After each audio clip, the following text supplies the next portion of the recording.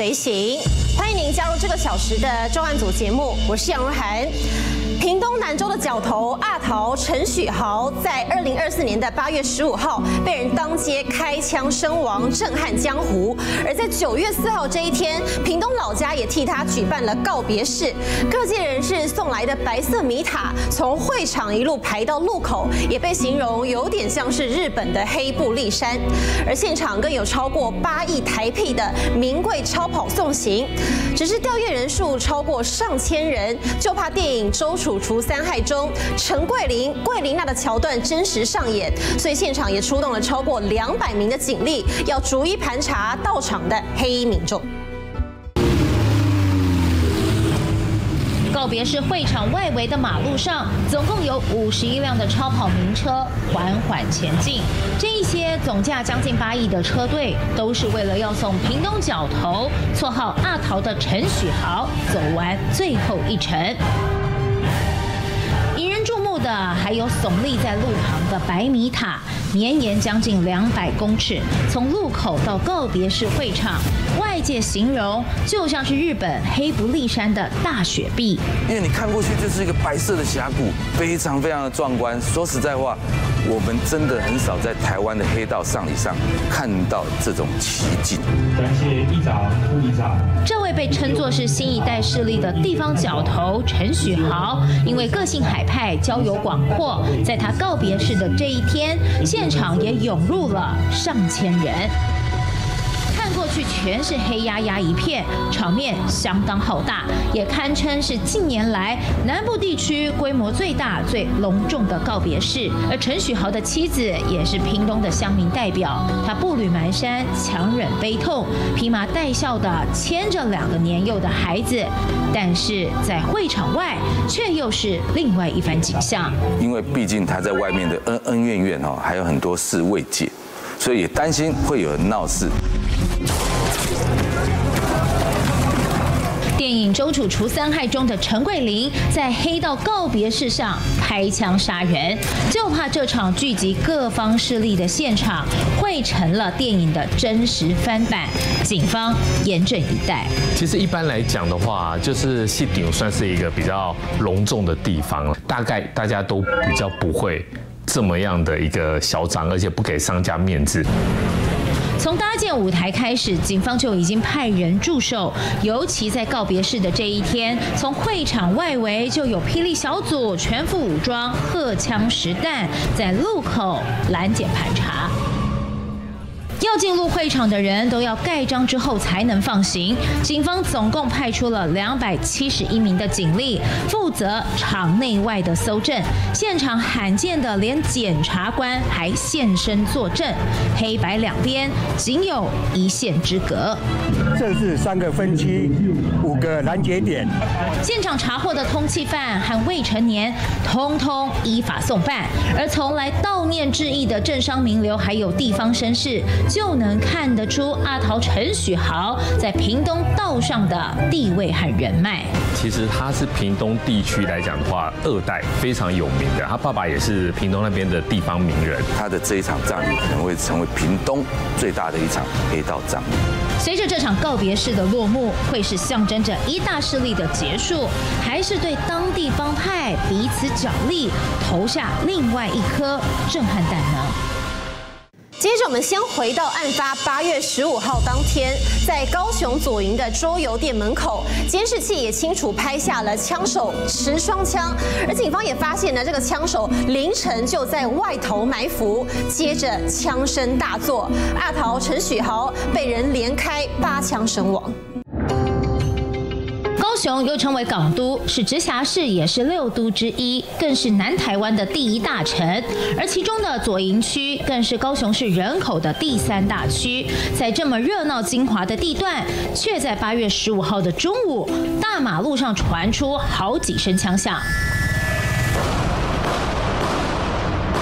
光天化日，竟然枪声大作，把附近住户全吓傻了。开枪的地点在这里，左营区的明华一路这一间桌游店门口。据说就是有一群男子走出店门口之后，然后被一个枪手然后追上来之后，直接连开多枪之后，当场狙杀。当街开枪杀人，会是谁如此嚣张？警方到场一看，发现被杀害的人是南部警方一直有掌握的屏东角头。这一个死者他叫做陈许豪，那他是屏东这边南州乡的这边一个地方角头，而且是在南屏东非常非常知名的这个新生代的角头。号阿桃的陈许豪年仅三十七岁，而杀害他的枪手竟然在犯案之后主动投案。他在做完案之后，也许是幕后人指导的模式，马上就到到派出所去投案，说人是我杀的。杨姓枪手开枪杀了脚头，他不跑也不逃，还带着作案用的两只手枪，子弹四十二发，大辣辣的向警方自首。杨姓枪手他为什么要去狙杀陈许豪？然后发觉，哎，他也是屏东当地人，而且他曾是诈骗集团的其中一个很重要的一个干部，可是他并没有所谓的大咖到什么程度。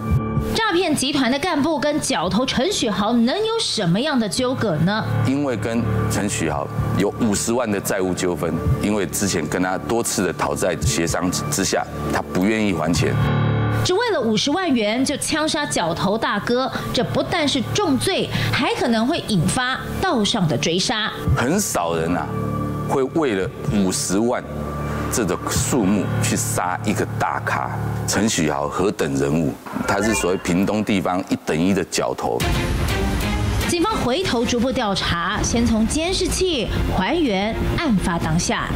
当天哈，就丫头带着他旗下的四个小弟，到了这个左营的这个这桌游店，一路从前一天的晚呃下午时间，然后去玩到第二天的凌晨，许多许多所谓的桌游店的这个游乐场，那实际上。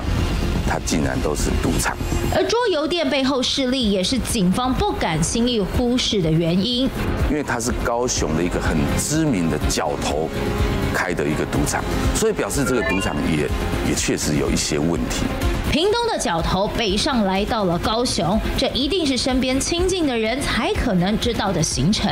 他其实凌晨的时候四点多就已经出现在桌游店的门口。看地形，然后在一旁白色小轿车上埋伏。那又会是谁透露了脚头陈雪豪的行踪呢？为什么会被枪手提早掌握？所以当时警方有怀疑说，是不是他的组织里面出现了内鬼？而最让警方起疑的是，枪手的手法并不熟练。身形高大、胖胖的枪手，哦，身插两把手枪，连开两枪之后，枪手本来看他倒地了，那一度想要逃跑，谁知道，哎，弹夹竟然掉在地上，所以他又回头捡了弹夹装上去之后，再回去，再对这个陈许豪补了好几枪，身中大概七枪到八枪。开枪当下一反常态的行为，让原本就疑点重重的枪击案更加扑朔迷离。他竟然是连续砰砰砰开完，开完之后呢，哎，怎么没有人去追枪手？阿桃出去，你跟着小弟没有带东西吗？你怎么没有第一时间去回击？案发之后，还有人梦到了被枪杀的角头阿桃陈许豪，在梦里面他下了指示。那陈许豪的弟媳妇。他突然间说，跟他的弟弟说：“哎，大哥有托梦给我，对，然后跟我讲了很多很多的话，但是重点就是说，希望就是大家要好好的过日子。”是死者的放不下心，还是被埋伏开枪的心有不甘？这一切都要等警方进一步调查厘清，在枪击案的背后还有没有没说出口的真相。这个阿桃其实才三十七岁，而个性火爆又敢冲的他，难免在江湖上也会和人结下恩怨。早年他追随的其实就是亚洲大毒枭，人称屏东毒王的林孝道。他走私毒品海洛因还有安非他命，每年经手的毒品生意高达上百亿元。不过在二零二零年的二月，林孝道被捕之后，陈许豪疑似也承揽了南部他的毒品路线，成了屏。屏东地区这边新窜出的角头，事业是风生水起。不过他却和儿时玩伴、绰号雷梦的林姓角头闹翻，还互相持长枪开枪较劲。屏东县位在台湾的最南端，也是西部最狭长的县市。而这个充满南国风味的地方，却曾经有“黑道故乡”的称号。主要就是因为早期的屏东县议长郑太吉，还有林丰德犯罪集团。不过细数屏东角头，其实还有区域之分。屏东地区其实是分为屏北跟屏南两个、两个、两个称谓啊。在屏北地区哦，有一个长期的老角头，盘踞整个屏北地区，然后他是专门做砂石的。啊，据称也是这个火力强大，所以说基本上在平北地区没有人敢踏进他的地盘，也就是说砂石业全部都承揽，那在当地非常非常有势力。其中平南地区的中生代角头势力也逐渐大洗牌。平南地区就分为两大卦，一个就是所谓的南州坎顶卦，啊，就是陈许豪这一卦。然后另外一卦就是一位灵性角头这一卦，然后这个屏东的南屏东两大卦子都在做什么？过去哦都是在做所谓的走私。据传这一次阿桃陈许豪遭到枪杀的桌游店，就是高雄角头手下头号大将所经营的据点，而在这个地方发生命案，地点颇为敏感。其实哦。陈雪瑶相当的年轻啊，不过三十出头啊。那可是他真正发迹，好，真正为这所谓的在地方上，或是说全国的道上兄弟，让大家去了解这个人的时候，大概是在十多年前而已，大概在二零一五年。原来这个阿桃年轻的时候跟着的老大就是台湾三大毒枭之一的屏东毒王林孝道，而他几乎是拿下了南部毒品海线上的所有生意，每年光是他经手的毒品就高达上百亿元。他跟随着台湾最著名的毒王，叫做林孝道。啊，这个林孝道他是专门在。运走私毒品的啊，在国外制作毒品，然后运回台湾的一个台湾的毒王。那陈许豪跟在他的身边，反正就是当做小弟，然后去运，包括协助他，可能是其他的这些事项，运毒事项。好，所以说当时在二零一八年林孝道落网的时候，然后他就陈许豪也当然一并的被抓。满桌的双狮地球牌、海洛因砖一字排开，数量多到连桌子都快放不下。这些总数要价十五亿元台币的毒品，在屏东南田海岸被检警全数查获。而这一起走私案，也让国际大毒枭林孝道和底下党羽陆陆续续遭到警方逮捕，其中也包括阿桃陈许豪。可是后面他很幸运的。因为他可能只是外围组织负责外围组织，所以他并没有，并没有说涉案。可是我们要看哦，他当初哦年轻的时候，他是那种所谓的飙车族起家的，然后他的爸爸在当地开了一个很大的一个私人公庙，叫做成功馆。这间屏东南州的成功馆，斯坦里祭拜广泽尊王为主，是在地人的信仰中心。而老馆主原先是阿桃的父亲陈庆峰，但是他在前几年过世，而为了让老爸走得风光，当年告别式也斥资了四百万元。老爸陈庆峰走了，儿子阿桃接棒，他活跃于抖音等社群媒体，相当高调，也因此有南州传奇的称号。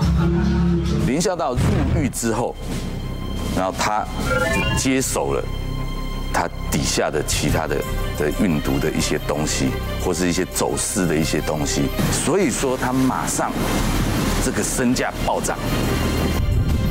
如果阿桃真的把林孝道先前在海线上的毒品走私生意承揽下来，那光是运输费用就赚得盆满钵满。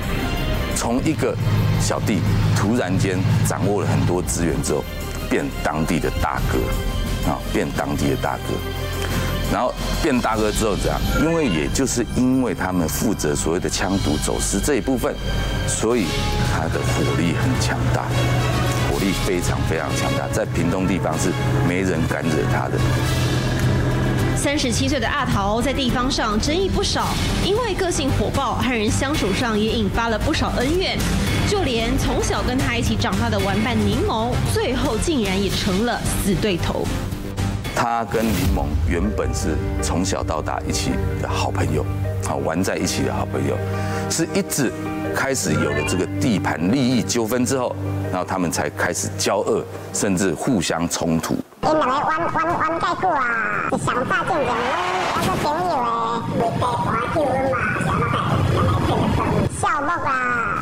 就是在二零一八年的时候，那时候因为这个林某啊旗下的一个小弟，啊，也不知道到底是被他说死，还是说跟他发生了冲突。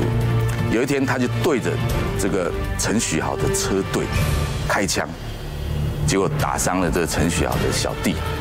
好，那结果当当然一定要报回这个仇，所以陈许豪的小弟当时就直接冲到这个林猛的地盘去，也先对林猛跟他的另外一个小弟住处开枪。成了最大的敌人，仿佛把对方住家都当成了打靶场，短时间内引爆多次争端。那开枪完之后，林蒙也不是省油的灯啊，对不对？马上就派了小弟去对这个陈许豪爸爸的公庙陈公馆开枪。那这时候你知道，陈许豪就压起来了，然后就压起来了。开完枪之后，他马上亲自啊亲自带着一把长枪，然后冲到林某的住处，先开了二十几枪。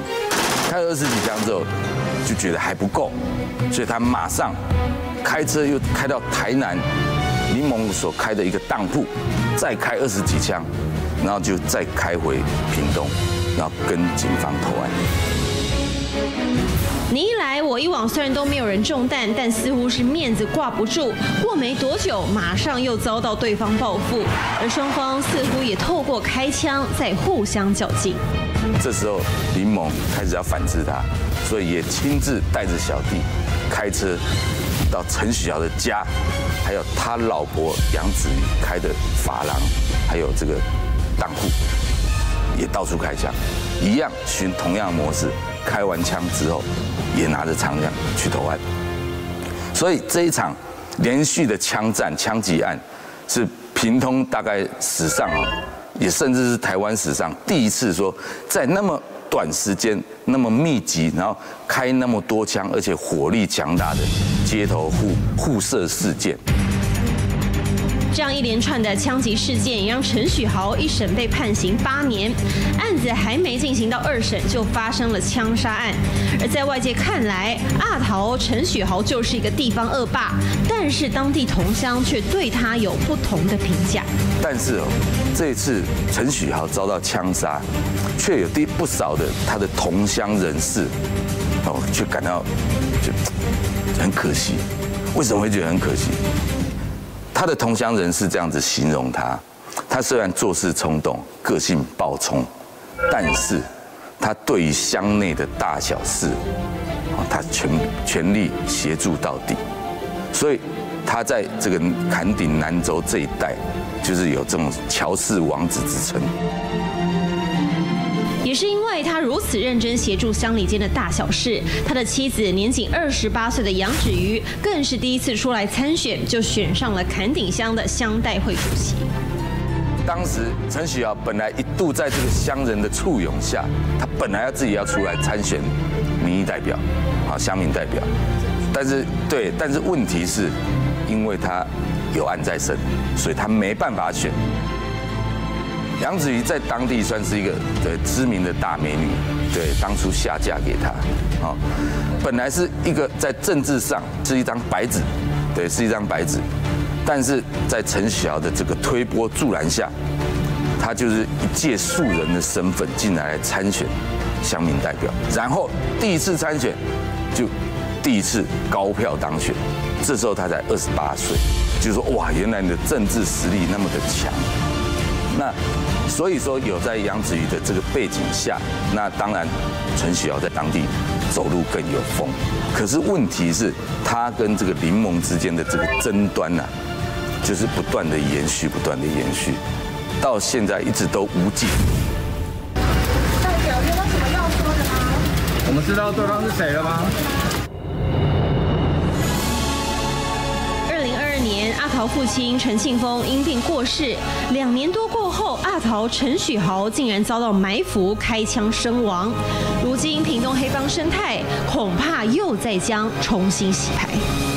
谁是阿桃被枪杀，极有可能南部毒品走私的版图也将重新被瓜分，引发另外一场风暴。而就像近期最夯的电影《角头》中，王阳明所饰演的 Michael 哥，他不断想要拓展自己的毒品市场，赚更多的钱，更不惜和其他人撕破脸，想要一同并吞他人的地盘。戏如人生，接下来我们要讲到的是台湾南部最大毒枭——屏东毒王林孝道。他曾曾经是正太极的死对头，每年更经手上百亿的毒品生意，只是最终他还是踢到铁板了。带您来看，大概这十多年来，各地从世界各地运往台湾的毒品相当相当的多，所以一度成为让台湾有所谓的毒品中继站的这个名号。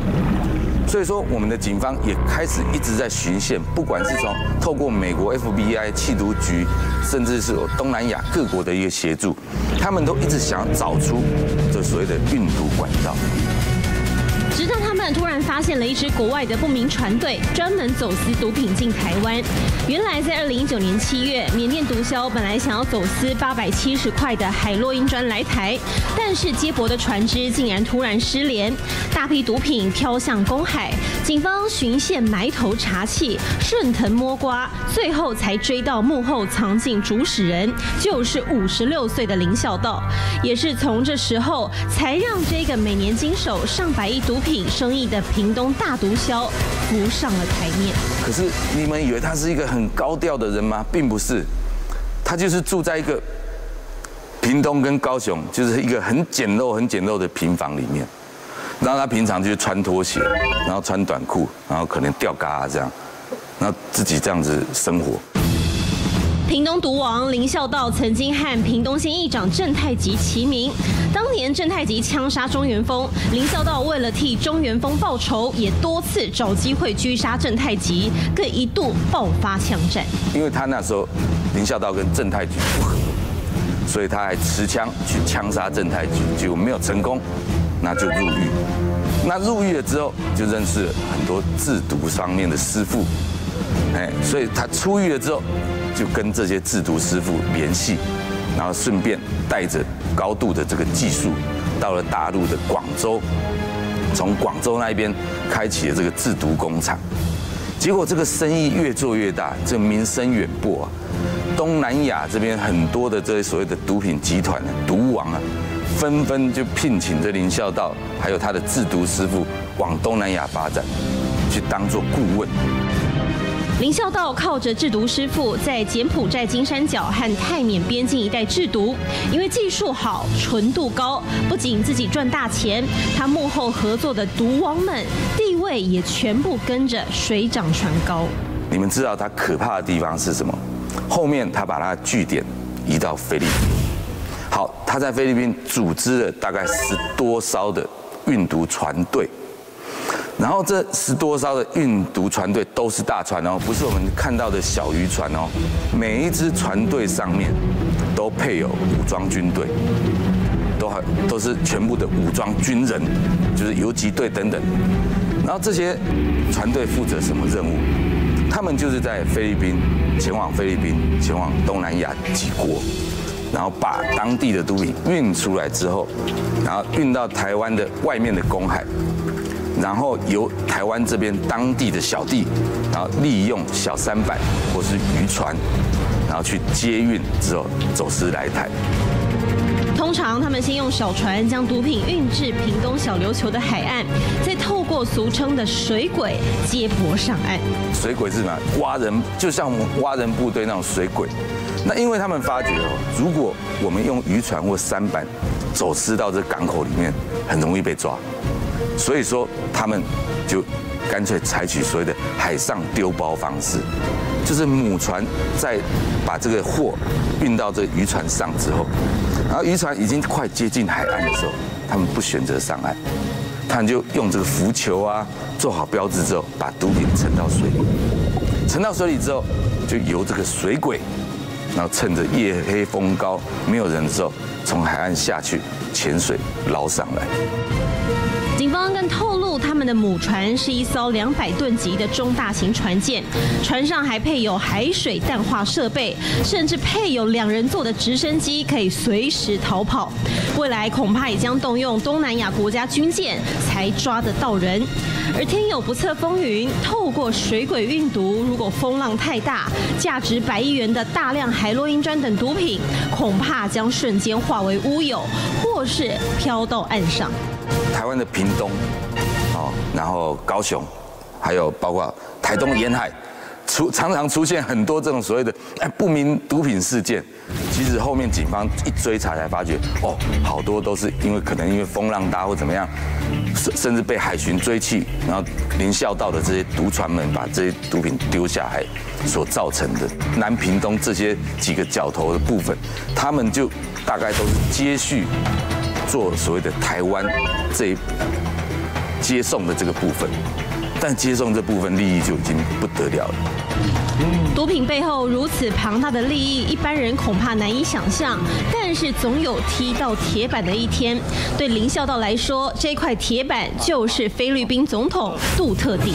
他一上任之后就势力要少，所以目标就针对是林孝道。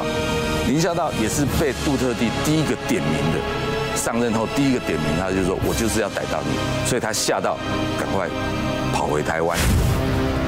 二零二零年三月，林孝道被捕，隔年被判处十八年徒刑定谳，其余九名同伙则是被判八到十七年不等。而这位百亿身家的毒枭人生，也在他五十六岁这一年先正式落幕。接下来带您来到南投的民间乡，在这一条幽静的产业道路上，有一个人身中枪伤，倒卧在了血泊当中，明显死亡。而警方赶到现场之后，发现死者是当时县长的外甥，而他的太太居然还是民间乡的代表，会是谁这么大胆要了乡代老公的命？是中二高民间收费站旁边的产业道路，不是当地人根本不会知道有这一条路。其实那种产业道路在乡下算是蛮多的啦，平常很少人在出入，会出入都都是一些农夫啊，农夫就是也在附近有土地有在耕作的，那一般晚上几乎是人人喊志啊。民国九十三年二月某天凌晨一点多，突然救护车鸣笛声和警笛声划破了宁静。偏僻的产业道路，怎么一下子涌入大批警察和救护人员？那里到底发生了什么事？这个故事要回溯到南投分局新家派出所接到的那通报案电话开始说起。伊讲，民间的乡民代表哈，因安哈，啊，第一关产业道路叫没了枪击哈，死亡。民间乡代表的先生遭枪击死亡，不仅死者身份敏感，关系着可是一条人命，这怎么得了？电话那头的远警赶紧通报侦查队，大批警方立刻赶到现场。发现死者的摩托车就倒在马路中央，进一步检视死者身上的伤。在现场有发现哈，呃，两颗弹壳。初步检验的话是身中两枪嘛，一个是从腋腋下射进去，那另一颗是从心脏哈射入。死者身上明显有两个弹孔，警方第一时间通知家属到场，更确定了死者是五十六岁，绰号“林梅”的男子。死者是当时的一个县长一个外甥，死者竟然是县长的外甥，他特殊的身份让警方承受了不小的办案压力。其实不只是他，清查下去，连他的家人在地方上也都赫赫有名。死者的儿子是当时副议长的一个司机，他太太是民间乡的一个代表，那平常热心公益了。所以说，呃，算是有名的地方人士了。一家四口有三个人在地方上名声响亮，警方的办案压力不单只是来自家属，连当地民众也都在问：淳朴的乡下怎么会发生枪击杀人的案件？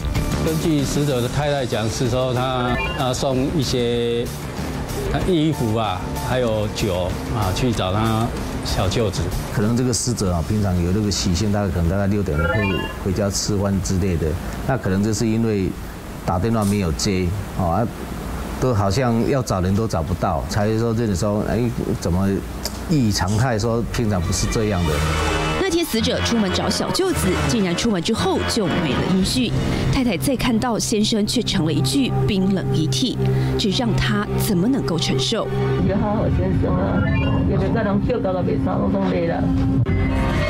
一个地方上有身份地位的人遭枪击死在产业道路上，真的非同小可。这件命案在平静的村庄引发轩然大波。要破案，警方得从现场找寻蛛丝马迹。因为他家属有自己讲给我们说，他身上当时有带着八万块。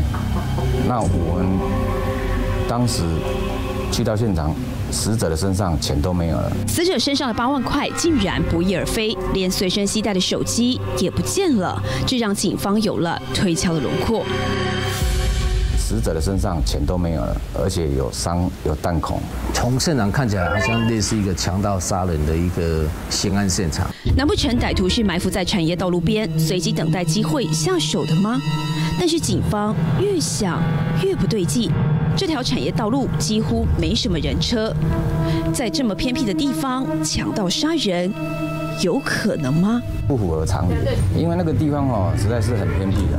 那个只有你说以一个嫌犯要作案的话，他有可能会在那边埋伏等人嘛？搞不好他等了一天哦都没有人，都没有车子过去。你在那边埋伏哦，要抢准备要抢路人，那万一他身上都没钱呢？警方推断没有歹徒会埋伏在偏僻的道路，看来这绝对不是件单纯的抢盗杀人案。发现啊，他那个外套的一个右下翼弹左啊，有火药残留啊，烧灼的一个状况哈。那这个属于近接触的一个设计，点的话哈，那个弹孔进去那个烧灼会比较小。那因为它是这个近接触的，所以说它烧走的范围会比较大。我们的猜测啊，那个枪应该是要在那个啊身上开枪的。从外套上的烧灼痕迹看来，这像是行刑式的枪击。如果单纯要他身上的钱抢走就好了，有必要取走他的性命吗？甚至还近距离开枪射杀，这摆明是要置他于死。那我们后来有发现到这个是比较不寻常的，就是发现他的他可能有有一些债务问题的。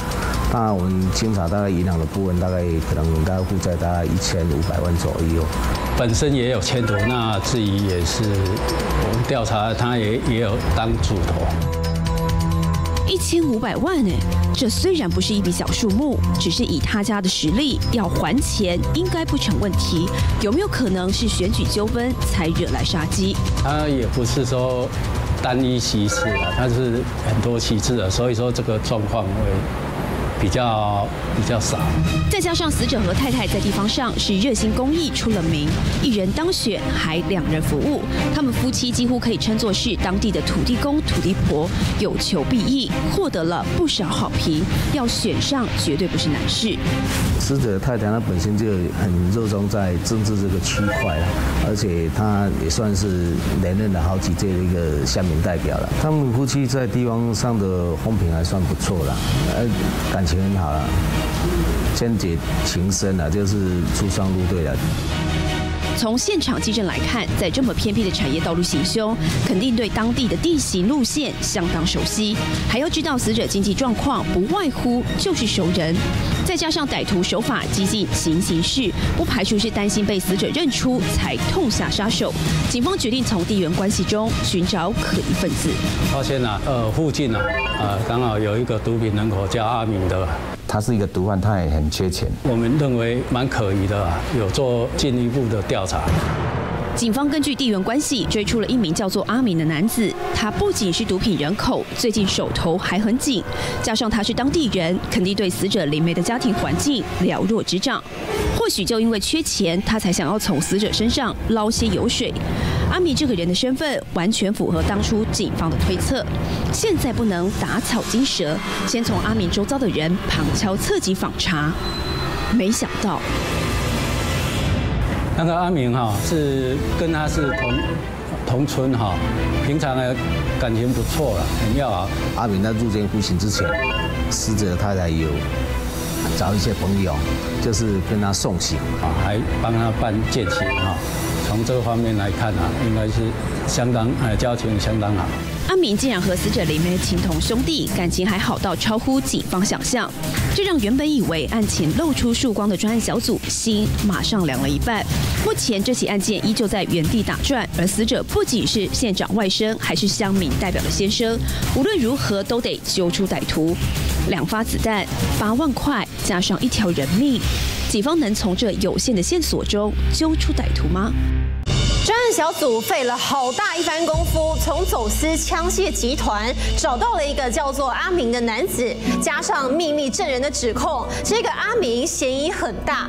但当警方找到他的时候，他人正在入监服刑。难不成警方找错人了吗？死者和乡代表的太太在南投民间乡算是相当活跃，地方上几乎没有人不认识他们夫妻。最主要死者是多多少少都要参与这样地方的一些重要的一个活动跟庆典之类的，比如庙宇啦、进香啦、拜拜之类都有，都有人热心在参与，在地方上算是一个台面上的人物了。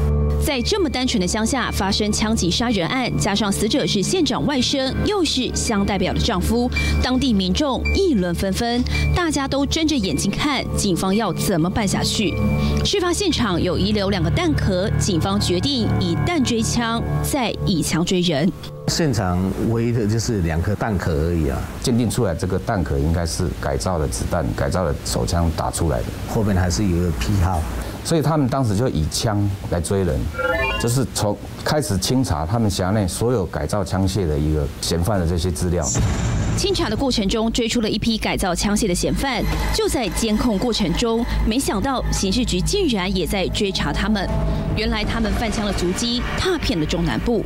我之前有抓到这个贩枪集团卖给一个高雄的买买方，抓到的时候，结果他们。这个子弹当时有查获一支改造手枪跟二十几发的子弹。高雄子弹的批号在一个多月后竟然意外连到一百八十多公里外的南投。跟他们资料汇整了以后，我发现，哎，这个死者的旁边那个弹壳的批号跟我高雄查获这个买方跟那贩枪集团买的这支枪的那个子弹的批号一模一样。高雄、南投子弹竟然都来自同一批枪。现在只要能追出这个贩枪集团，要追杀死民间香代表丈夫的歹徒，应该不难。稍微有一点希望，就应该是这一把枪应该是从这个贩卖的这个集团里面贩卖出来的。南投警方和刑事局中部打击犯罪中心现在联合起来气凶，要让凶手无所遁形。当初我们有查访到一个一个秘密证人，他有透露给我们说，当时啊，连他一个好朋友。到做这件事情。一听到阿米这两个字，警方也傻了。哎，他和死者不是情同手足的好兄弟吗？怎么绕了一圈又回到阿米身上？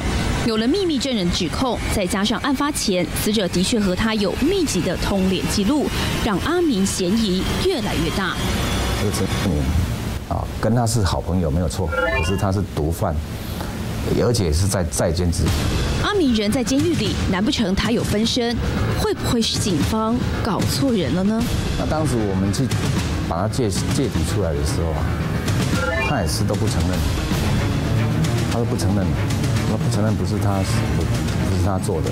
面对警方的询问，阿明提出了在监执行的不在场证明，只是他入监服刑的时间根本是在案发后，表示他案发当时人还自由的很，要下手绝对不是难事。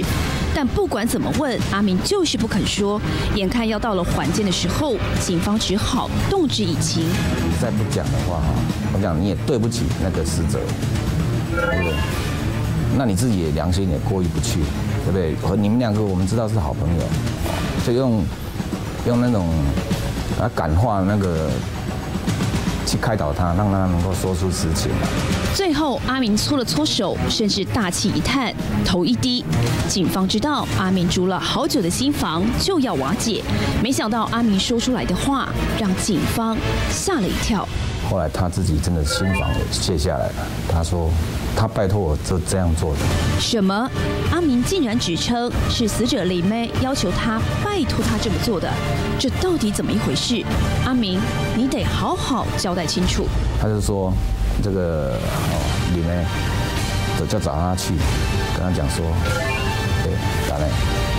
刀哦，才做拍鬼，我本身我自己身体也不好，啊，我想说，我要用一个哈，就是说，抢用抢劫杀人的这个这个这这个方式啊，来诈领保险金。真的万万没有想到，阿敏竟然把整件事情推给了死者。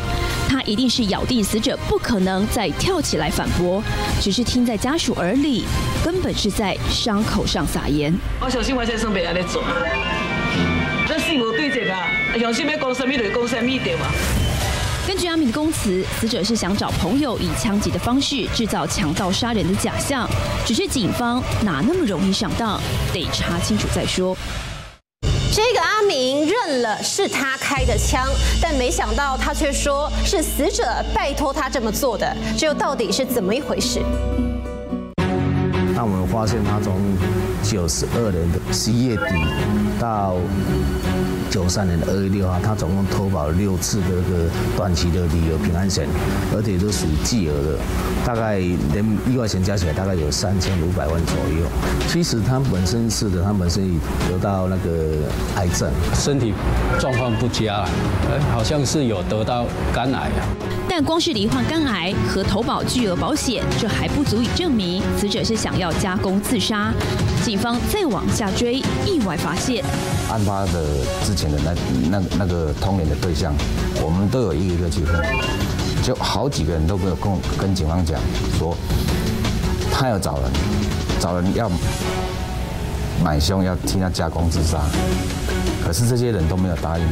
原来死者不止找过阿明一个人，其实他到处拜托，希望有人能当他的枪手。警方每查一个市政，就越增加阿明供词的可信度。很合理的怀疑说，这有一点，这有一点像加工自杀，为了要诈领保险金，让他家里面比较好过。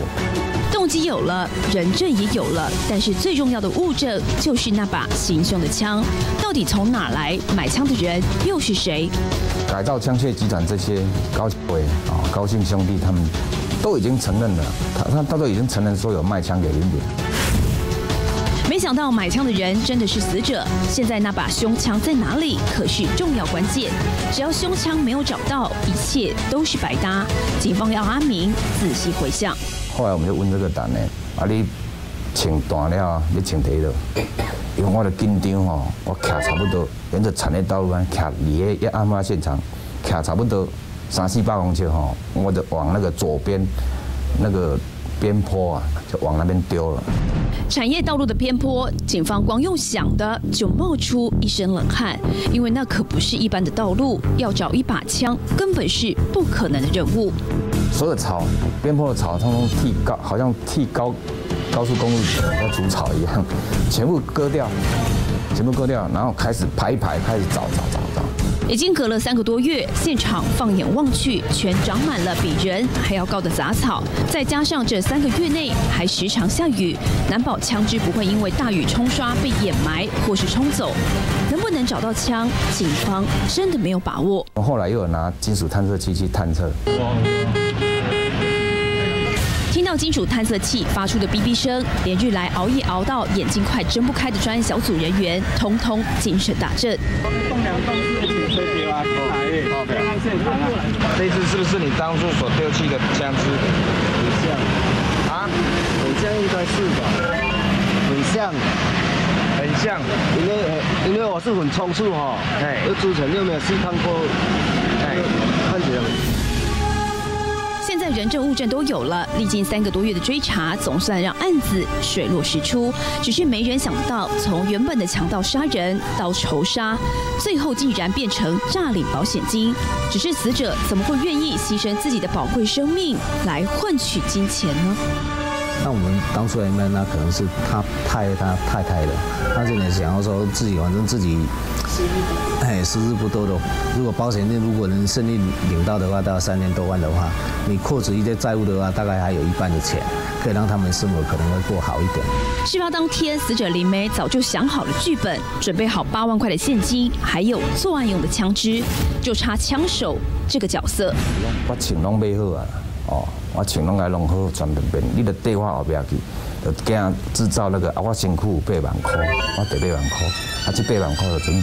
当做你，一方面是当做说哦，他八万块被被嫌犯开枪打死抢劫嘛，哦，啊一方面就是说去被万块做真好，你这这仇用就对了。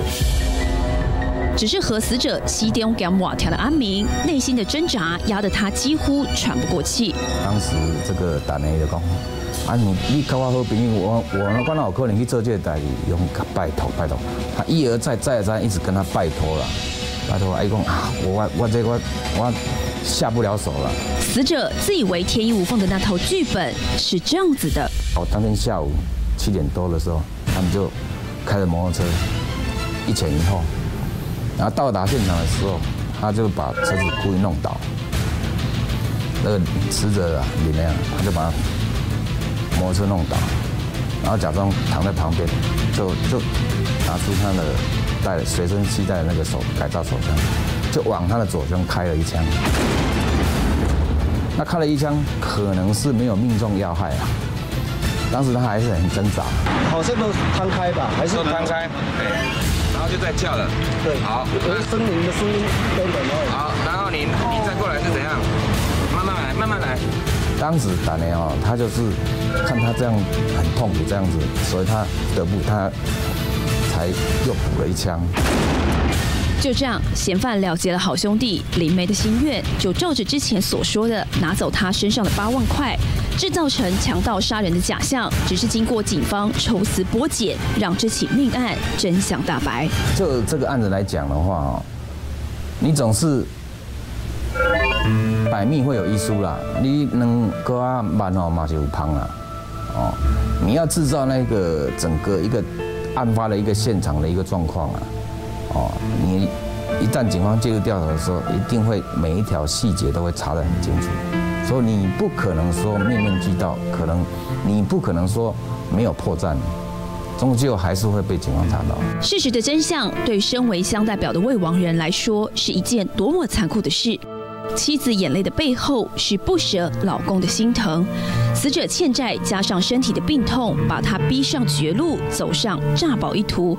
如今剩下妻子赌成家计，自己还白白牺牲生命，千算万算都不值得。非常感谢您收看这个小时的重案组节目，我是杨如涵，我们下周再会。